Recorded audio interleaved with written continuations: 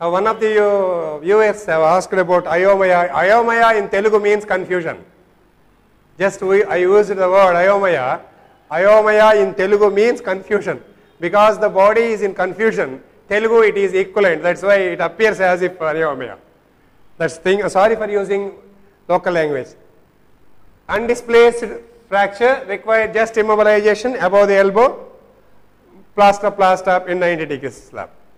And displaced fracture should be admitted to the hospital because of the vascular injury and can first identify. So this is the method of immobilization I told you already. The plaster black is like this one. Methods of treatment in displaced fractures. Closed reduction and percutaneous pinning. You can use closed reduction POP cast and then you can use closed reduction and percutaneous pinning. But if you use closed reduction POP cast, you should be seeing about the pulse. While you are flusking, cautious about the pulse. Most displaced fractures are easily reduced by closed reduction, but often they slip. So in order to not to slip, you have to give a slab or K-wire. So but to, best to fix with them one or two K-wires passed percutaneously through the skin without opening. Percutaneous means without opening. Percutaneously under the image intensifier technique of closed reduction. I will so demonstrate there. technique of closed reduction. So uh, somebody will be somebody will be doing the traction.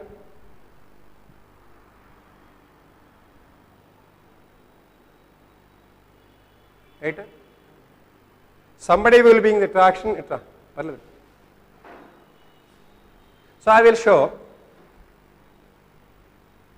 So somebody will be doing the traction at log and i am doing counter traction. Then slowly i keep my thumb under this what is called olecranon and then try to adjust the upper fragment backwards. Try to adjust upper fragment backwards so that because the upper fragment i am sorry because the upper fragment is posteriorly I will try to adjust the upper, uh, upper segment backwards and a lower fragment that is distal fragment olecranon or the lower supracondylar forwards. So this part of the this fragment which has gone backwards will be pushed forward and the above the proximal fragment is pushed backward so that they will come like this. Then I will adjust in the coronal plane. That means it might have gone medially or laterally. After seeing the x-ray whether it is medially shifted or laterally shifted we know. If it is medially shifted we will push the lower fragment laterally. If it is laterally shifted we will push the middle fragment distal fragment lateral medially. If it is like this accordingly I will adjust this one. And then we will see the carrying angle. We will see the carrying angle. It is too much lateral or medial. And then after attaining all the reduction I will slowly I will slowly flex the elbow so that the tightness of the triceps will keep the fragments together and slowly fix it. But at the same time I will be seeing my pulse seeing the pulse of the patient. So if at all the pulse is good I will try to slap as much as possible then apply the slap if the pulse has obliterated at this area suppose if the pulse is absent at this area then I will go back and see whether there is pulse or not if there is pulse then I apply slap so if you are not able to apply slap without without any flexion or without required flexion, then it is better to go for K-wire fixation. So like that. So this maneuver was corrected, the traction with elbow in the same position of flexion, in the same position of flexion and then 20 to. If required, the carrying of the elbow is corrected at this stage. This maneuver corrects the proximal displacement and medial and lateral displacement. If you give a traction, proximal shift is corrected and the medial lateral shift also is corrected. Proximal and medial shifts are a better corrected by traction. And then this is the way I have seen. And then this is the way applying traction with this the same flexion like this one. Then that is that is the first. This is underlined. Then the second. Then the second one is. This is the one. Oh. Applying traction with the elbow at 20, uh, at 20, this one, this is the traction and then now correcting the what is called side to side tilts as well as proximal shift olecranon and then slowly flexing flexing the elbow after aligning the distal fragment all the corrections slowly flexing it and then applying the slab like this Traction in flexion, pressure over the olecranon, traction is maintained as the elbow is flexed beyond 90 degrees. Throughout this maneuver, the radial pulse is felt. If it is obliterated flexion, the elbow is extended again until the pulse returns. If it is necessary to make check X-ray after 48 hours and after one week, if no residual displacement occurs, the plaster part is removed after three years. If it is not possible to achieve good reduction by closure, it is better to do the what is called open, uh, open reduction. If the fracture gets re-displaced after reduction, better to open it again. At, as a first line of treatment in open fractures, if there is already open fracture, compound fracture, there is no closure treatment because it's already open, you require the open reduction. Those requiring exploration of the brachial artery, if the brachial artery is damaged, when you want to repair the brachial artery, then it is better to, it is custom, it is definitely you have to open the fracture and then apply the tract and apply the KYs. Continuous traction is no longer used now. I told you already there are two tractions. One is a Dunlop traction, that is skin traction. Smith's traction, that is K-wire traction. That is not being advocated now for practically, but theoretically, you may be given a question. That is why requires in cases when they are presenting very late, after some time, 10 days, 11 days with a huge swelling comes, you cannot be able to reduce it, then it is better to have a traction for what is called traction for the for your first step traction. You, you give traction by Dunlop traction or Smith traction, not by your manual traction. You keep it for some time. The traction may be given with a K-wire passed through the olecranon or with a below skin traction that is Smith traction or Dunlop traction. So after Priya that is how it has reduced, it has been reduced, K-wire has been fixed and this, this is the X-ray. After that you can see there is a union of this one. The patient is able to show all the moments after 8 months. And this is about another injury which is called open fracture. They have been reduced openly and K-wire has been fixed. And this is like that. After six months of this case, this is follow.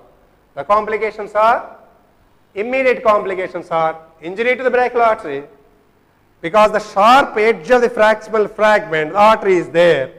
Most often enough bed gets through the collaterals around this one, keep the limb alive. It try to keep the limb alive most of the time.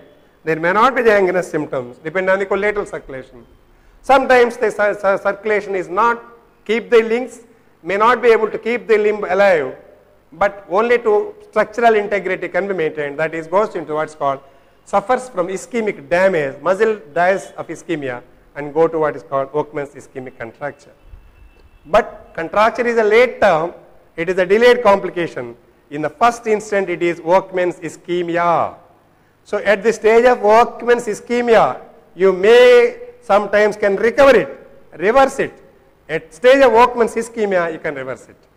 So the vascular compromise may result in gangrene. If there is a 100% vascular compromise, it may result into gangrene. Injury to the nerves. Median nerve is the most commonly injured nerve. Frequently asked, this is median nerve is the commonest nerve that is injured, that is the victim. Radial nerve is also sometimes injured.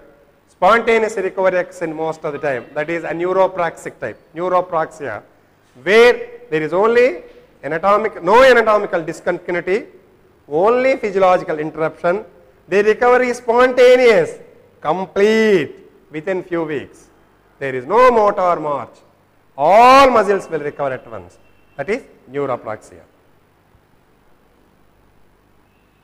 Early complications of Volkmann's ischemia due to the occlusion of the brachial artery by the supracondylar fracture. Actually, it is not the brachial artery per se. It is because of the anterior interosseous artery. It is many times not because of the direct injury. Direct injury may not be there, but because of the vascular spasm or because of the gross injury of the forearm, sometimes the compartment may become tight and there may be tightness in the forearm compartment. This tightness may occlude the anterior interosseous artery, which is the end artery, which supplies the flexor pollicis longus and a part of the flexor digitorum profundus. So these two muscles will suffer a lot because of the occlusion of the what's called anterior interosseous artery. If a real brachial artery is damaged directly, may not be Volkmann's ischemic ischemia, it may go to gangrene even, but Volkmann's ischemia many times results not only due to the brachial artery injury, even the brachial artery is normal, even the brachial artery goes to spasm or the brachial artery mm, is compressed for partially, but if the anterior interosseous artery gets blocked or damaged or because compressed by the ischemic swollen muscles, it may produce what is called failure of the microcirculation of the muscles supplied by the anterior interosseous artery. So that will be the important cause. So in that way anterior interosseous artery which is a branch of brachial artery is most susceptible to ischemic damage because this artery is an end artery just like your retinal artery is an end artery. Most commonly affected muscles are flexor pollicis longus and a medial half of flexor digitorum. Even flexor digitorum profundus also, flexor because it is also supplied by that one. But these two are very, very important. The child complains of severe pain, Volkmann's ischemia, is unable to stretch pain. That means if the child is swollen, if you try to extend the fingers, he will have a lot of pain because all the muscles in the flexor muscles are under what is called tension, under swollen, under ischemic pressure. So when you try to extend the fingers, the flexor muscles are stretched, flexor muscles are stretched. So already damaged ischemic muscles, when they are stretched, they will cause pain. So that is what is called stretch pain, stretch pain. He is unable to move the fingers fully because there is a ischemia to the muscles. Ischemic pain is more severe than pain due to fracture. Fracture pain is there, but ischemic pain is more than the fracture pain. So stretch pain, the child complains of pain in the flexor as per the forearm when the fingers are extended positively. That is what is called stretch pain. A child needing more than the usual doses of the analgesics indicates that there is ischemia. Indicates that there is ischemia. That is what is called Volkmann's ischemia or otherwise called compartment syndrome. Compartment syndrome because it is a tight osteofascial compartment suffering the microcirculation.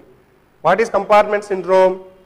The tight osteofascial compartment. In a tight osteofascial compartment, if the muscles are suffering what is called ischemia, that is lack of blood supply, they will swell. They will swell. This swell again increases the compartment pressure. That pressure again decreases the microcirculation and finally microcirculation fails not only because of the original injury but also because of the effect also. So that is called vicious circle. There is tenderness on pressing the forearm muscles because they are under tensiveness. Volkmann's ischemic contracture, this is an emergency, that is why you should admit. Any external bandage, anything over the skin, any tightening agent, you should remove it. Bangles, everything, any tight structures, slabs, dressings. If you think there is a compartment pressure, you should remove it. And you should see the normal skin until you see the normal thing. The forearm is elevated and the child is encouraged to move the finger so that improvement of the microcirculation. If no improvement occurs within a stipulated time of 2 hours, you have to release the compartment because this compartmental pressure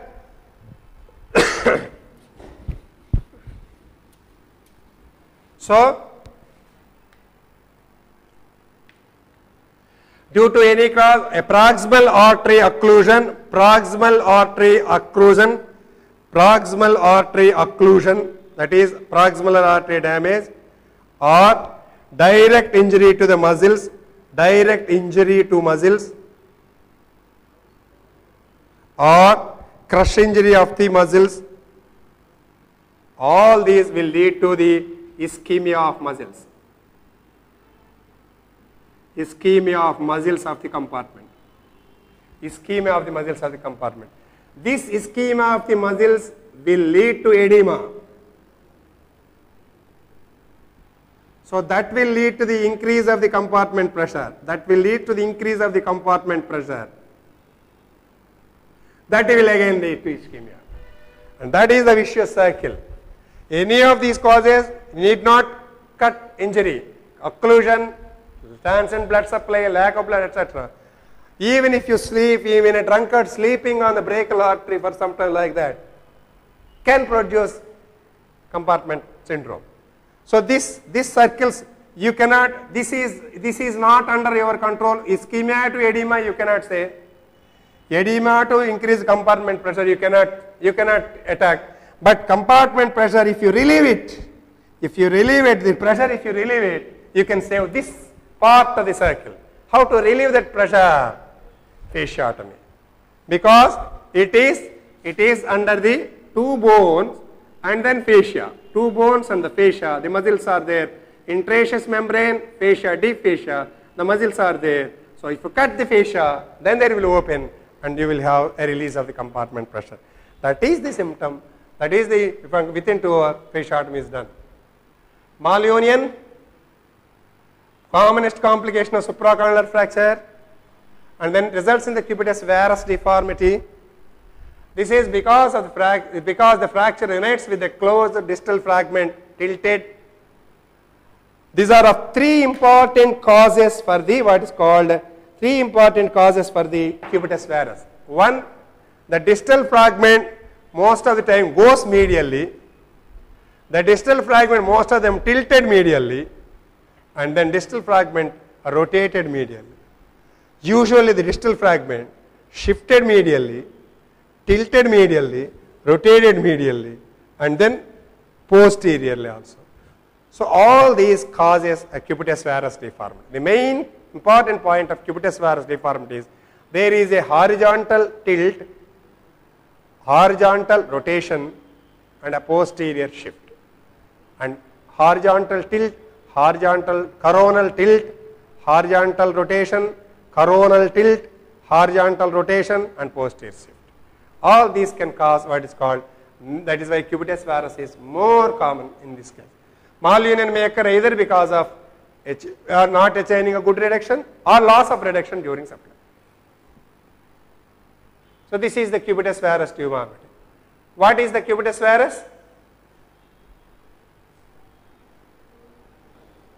Yes? What is cubitus varus? Decrease of the carrying angle. What is carrying angle? Carrying angle. What is carrying angle? It is the angle deviated by the forearm. Now suppose how what is happening? ఇది ఇచ్చేసి లేకపోతే నువ్వు వచ్చేసి angle deviated with forearm. Now if you see the structure, arm is like this. Actually arm anatomically should extend like this. Arm should extend like this. But instead of extending the arm, the forearm, if you see the leg, it is almost in line, almost in line. Thigh and leg are almost straight line. But if you see the upper limb, instead of forearm going straight, like this is the imaginary area which should go, but it is tilted like this. This has tilted like this. So this angle of deviation of the forearm from the main axis of the arm, angle of deviation of the forearm from the main axis of the arm is called cubitus, is called carrying angle. The angle deviated by the forearm from the main axis of the arm is carrying angle. But carrying angle, okay? So that carrying angle, if it is decreased, if it is decreased, it is called, if the carrying angle like this, even if it comes to neutral also, it is cubitus varus. If they are in straight, it is cubitus varus because the carrying angle decreased. If you go this side also, it is carrying angle, right? Okay. So see this one, there is a normal carrying angle here. This is, no, this is normal here. There is the inside, is deviated towards the medial side. So this is the, this is the normal one, this is the carrying angle decrease. So this is how, this is the cubitus varus deform is often called a gunstock deformity. Why it is called gunstock deformity? It is like this. It is the deform like this. But if this fellow, if this fellow, if this, if you, if you, if this fellow lift the upper limb like this, see this one, it is almost like a gun. If he lifts like this, it is almost like a gun. So hence it is called gun stock deformity. See this is one. The same structure, gun stock deformity. Sometimes the distal fragment may go so posteriorly. So it will, it will tilt posteriorly and it has the angulation it will unite. Then it will cause what's called hyperextension. It will be hyperextension. Backward will result into hyperextension at the elbow along with the limitation of flexion. If there is hyperextension, there is limitation of flexion. basically a change in the arc of the movement. There is an arc of the movement. This arc of the movement is decreased. That's why when you want to observe, if you observe like this one, the arc, arcs are different. But in hyperextend elbow, this elbow touch this one and you will stop like this because a limitation of the flexion. Treatment is supracondylar corrective osteotomy. Paper, paper, corrective osteotomy. Now see,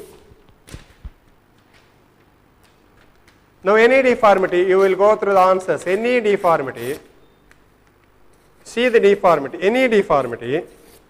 So this is a deformity, varus or valgus. If it is here, it is valgus. If it is upper limb, it is cubitus varus. If it is this side, it is varus. If this is this is varus. If it is in the limb, it is genu varum. If it is for this, it is genu valgum. So any deformity is like this, dependent side. And the correction is you have to remove a wedge triangle shape of bone, a triangular shape of bone, which is having a base and edge. A triangle area will be having a base and apex.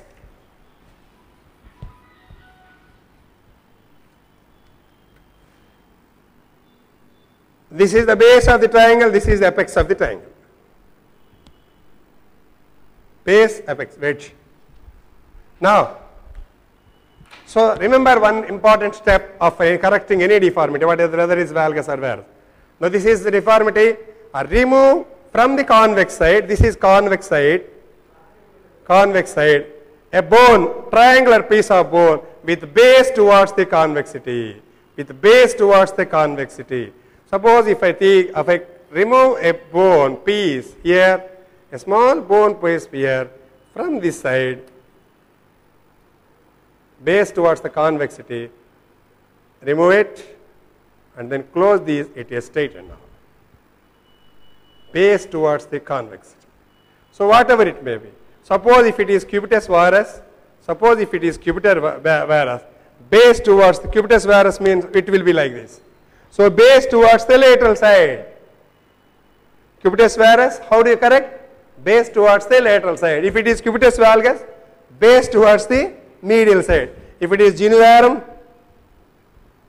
if it is genu varum, if it is genu varum, if it is genu varum, base towards the lateral side. If it is genu valgum,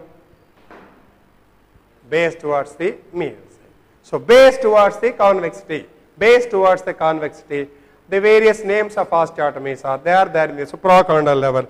Because the deformity is at this level, because the deformity occurs at this level, osteotomy should be at the site of the pathology. So the treatment is supracondylar corrective osteotomy, French osteotomy. So this one, so he has corrected it, scubitus varus has corrected it, and then it has become straightened. Myositis ossificans. This is an ectopic, ectopic ossific, ectopic beats, ectopic pregnancies, ectopic. No, it, you, you are unexpectedly it has come, newborn formation, with a thinking that it is a fracture hematoma, newborn formation around the elbow, resulting because there is a frag, this this bony block has occurred in the anterior aspect most of the time. It is under the brachialis muscle, so you are limiting the flexion, and the elbow becomes stiff.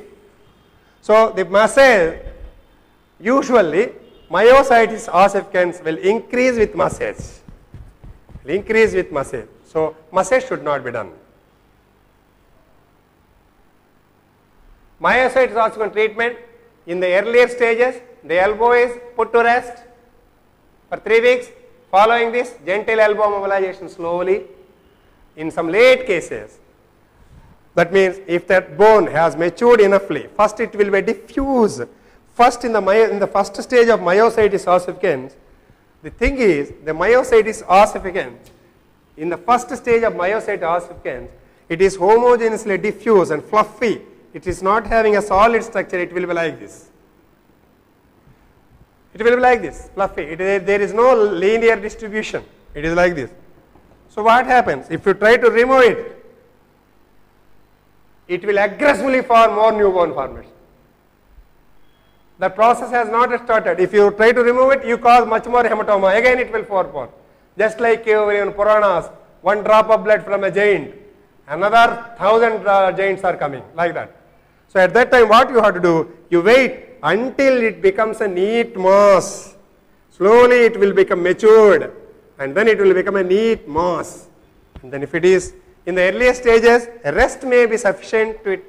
And if you, until it becomes a neat mass, then you get, that is called delineation, until a delineation. In some cases, excision of the myositis bone or excision of, or some, if it is not possible, if the, the joint has already damaged, then what is called, they, what, then you have to replace the joint. Any answer for joint is replacement. Nowadays, replacement. Volkmann's ischemia difference is Volkmann's ischemia is an acute condition. You have to treat by fasciotomy or by improvisation of blood supply. Volkmann's ischemic contracture is a is a late condition. The end result of a Volkmann's ischemia, end result of any compartmental syndrome is Volkmann's ischemic contracture. The flexor muscles have become contracted, the flexor muscles, muscles have become contracted and hence because they are contracted, the, the fingers are contracted. The fingers are contracted because of the contraction of the flexor muscles. Okay? The flexor muscles are contracted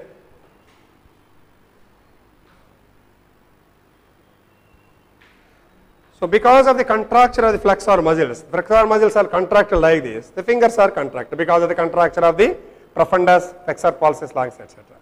So if they are contracted, if you try to flex the elbow, this contraction may not be stretched, it may become loose. At that muduk. So the flexors are contracted. If you flex the wrist, already contracted, you are becoming more and more loose. So they are not, they are not problematic. But once you extend it, this contraction is becoming much more stiff. So the fingers will become much more contracted. If you extend it, already contracted muscle will try to pull more and more. Then the fingers are more contracted. So there is a claw-like hand. Once you flex it, the claw will, will reduce for some time. But once you extend it, it will become more and more. That is what is called Volkmann's sign.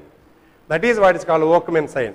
If you flex the wrist, they will become, the con- contracture will be less and the claw will be lessened. But if you tighten it, it will become more and more. So in a, in a, in a tightened contracture, if you flex it, it will become loose. Hence there, if you, end, if you try to backwards, it will stretch more.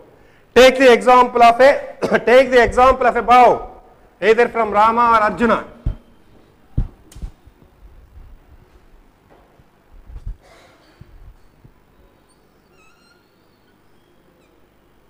This is a bow. This is the string.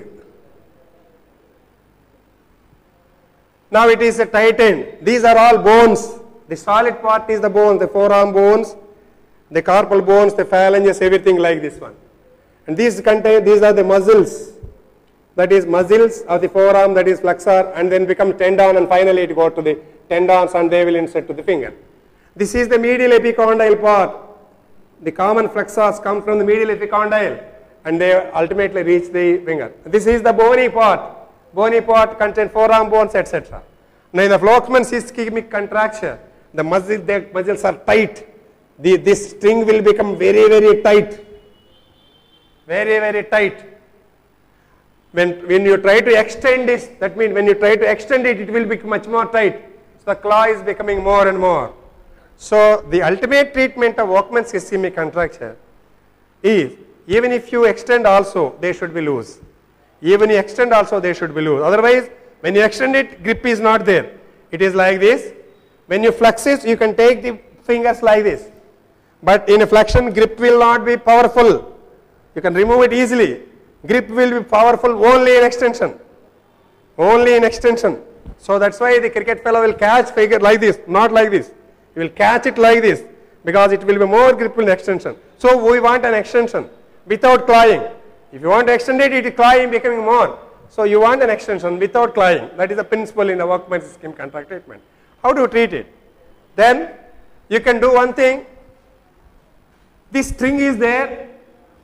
This string is there. Remove the knot here and try to attach here. It will become loose. This string is attached here. Try to be advanced here. the string is attached here and try to ad- adjust to here, it will become loose. Or you can lengthen the string, give another string, you can lengthen the string, or you can remove a part of the this one and then join, it will loose. So you can do what is called relieve from this area to this one, string is less, or you can lengthen it, you can leave it, or you can remove a part of the hard part and then join together, they will release. So these are the things in Volkmann's ischemic contracture. So if you can release, this is the bow I am talking about. If you can release the flexors origin from medial epicondyle and let them glide down, now it is loose. If you can lengthen the tendons, if you can lengthen the tendons, lengthening of the tendon by that plastic, that plastic, lengthen the tendon, it is loose. Or if you can cut short the forearm bones or remove the carpal bones, it will be loose. That is the treatment of Volkmann's ischemic contracture. So all the three you can do. Now let us see. Marked atrophy of the forearm, while flexion deformity of the wrist and fingers. Skin over the forearm and hand is dry and scaly because of ischemia. Nails also show atrophic changes. That is the Volkmann's ischemia. See this, this is the one. So when you try to extend, they will become more and more clot. So when you try to release this part of thread part of the bow, they will become loose. So for that, you can release the origin or you can tendon lengthening or you can cut short the muscles. That is the Volkmann's sign.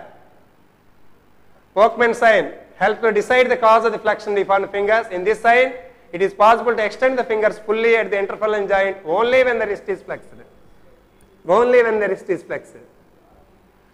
Extending the wrist. So, in a, in a Volkmann's kind, if you flex it, the fingers will nicely extend because of the looseness. But once you extend it, because of the contracture, they will become on extending the wrist, the fingers get flexed at the interphalangeal joint. On extending, they will flex it and are not useless. This is because when the wrist is extended, the shortened flexor muscle tendon unit is stretched over the front of the wrist, resulting in the flexion of fingers.